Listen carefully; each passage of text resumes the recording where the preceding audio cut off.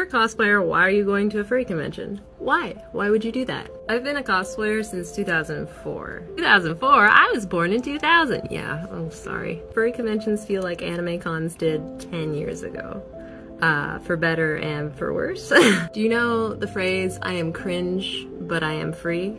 So in the last 10 years, I guess, anime conventions have turned very, uh, let's do the photo shoot, let's do a TikTok, let's do this, this, this which is good. It's good, but it's not why I started going to anime conventions. Started going to anime conventions to nerd out with my fellow nerdlingers. And a lot of recent anime cons that I've been to just haven't been that cringy. I guess furry cons like fuel my cringe soul.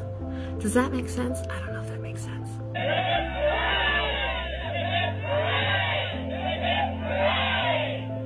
Okay, so yeah, that's the energy. That's it. And I love it. so that's why.